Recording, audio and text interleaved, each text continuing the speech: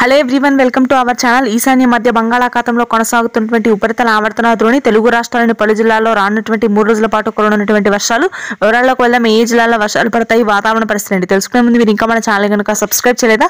అయితే వెంటనే సబ్స్క్రైబ్ చేసి పక్కన ఉన్న బెల్ ఐకాన్ని కూడా క్లిక్ చేసేయండి. ఇక రేట్ చేయకుండా వివరాల్లో కనుక వెళ్ళినట్లయితే ప్రస్తుతానికి ఈశాన్య బంగాళాఖాతంలో ఏర్పడినటువంటి ఉపరితల ఆవర్తన ద్రోణి బలపడడంతో ముఖ్యంగా ఉత్తరాంధ్ర మధ్యాంధ్ర జిల్లాలో పలు ప్రాంతాల్లో వర్షాలు నమోదయ్యే అవకాశాలు ఉన్నాయని వాతావరణ కేంద్రం వెల్లడించింది.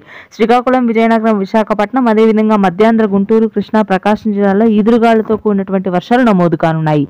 ఇక ఉత్తర తెలంగాణ జిల్లాల మీద కూడా అల్పపీడన ద్రోణి ప్రభావం కొనసాగనుంది.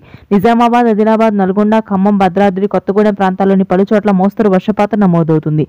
దక్షిణ కోస్తా అదేవిధంగా రాయలసీమ వ్యాప్తంగా ఉష్ణోగ్రతలు పెరిగే అవకాశం ఉంది. దాదాపుగా నలభై ఐదు నుంచి నలభై ఆరు డిగ్రీల ఉష్ణోగ్రతలు రాయలసీమలోని కడప అనంతపురం సత్యసాయి పుట్టపర్తి జిల్లాలో నమోదు కానున్నాయి. నెల్లూరు ప్రకాశం జిల్లాలో పొడి వాతావరణం కొనసాగుతుంది. ఉష్ణోగ్రతలు పెరుగుతాయి. దక్షిణ తెలంగాణ జిల్లాలో కూడా ఇదే విధంగా పొడి వాతావరణంతో తక్కువ వర్షాలతో అత్యధిక ఉష్ణోగ్రతలో మరొక నాలుగు రోజుల పాటు నమోదు కానున్నాయి. ఇది ప్రస్తుతానికి weather update thanks for watching this video please do subscribe for our channel thank you